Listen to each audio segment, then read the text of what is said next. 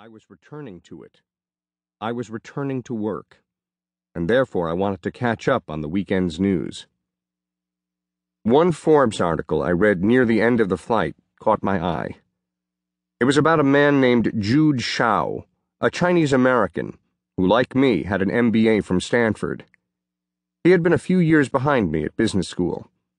I didn't know him, but like me, he was a successful businessman in a foreign land, in his case, China.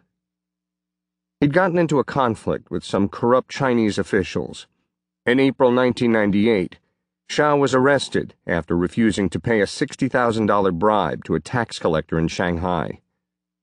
Shao was eventually convicted on trumped up charges and sentenced to 16 years in prison.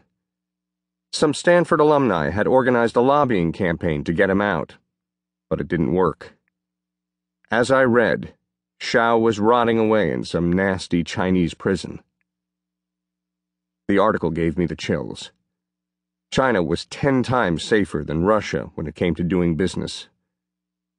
For a few minutes, as the plane descended through 10,000 feet over Moscow's Sheremetyevo airport, I wondered if perhaps I was being stupid.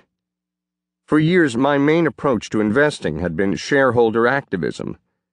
In Russia, that meant challenging the corruption of the oligarchs, the 20 some odd men who were reported to have stolen 39% of the country after the fall of communism and became billionaires almost overnight.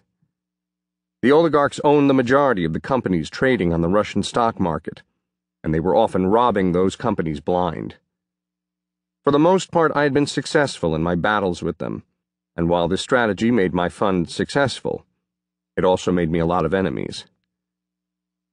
As I finished the story about Shao, I thought maybe I should cool it.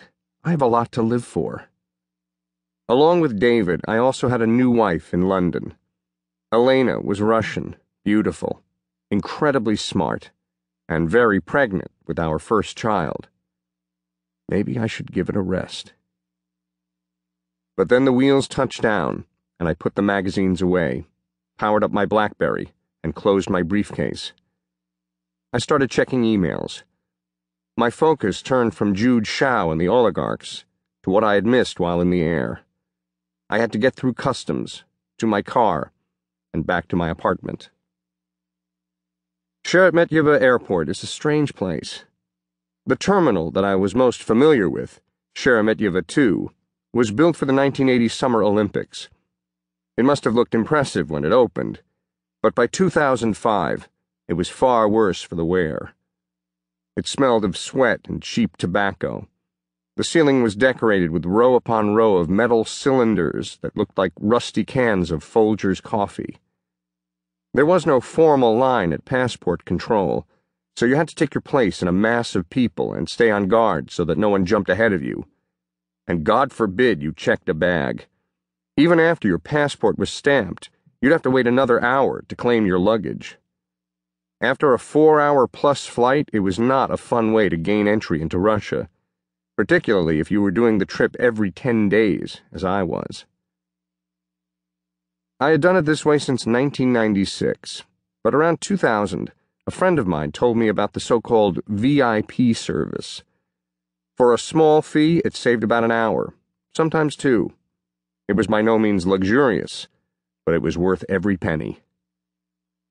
I went directly from the plane to the VIP lounge. The walls and ceiling were painted pea soup green. The floor was tan linoleum. The lounge chairs, upholstered with reddish brown leather, were just comfortable enough. The attendants there served weak coffee or overbrewed tea while you waited.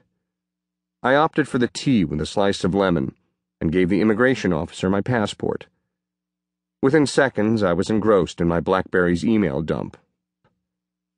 I barely noticed when my driver, Alexei, who was authorized to enter the suite, came in and started chatting with the immigration officer. Alexei was 41, like me, but unlike me was 6 feet 5 inches, 240 pounds, blond and hard featured. He was a former colonel with the Moscow Traffic Police and didn't speak a word of English. He was always on time and always able to talk his way out of minor jams with traffic cops. I ignored their conversation.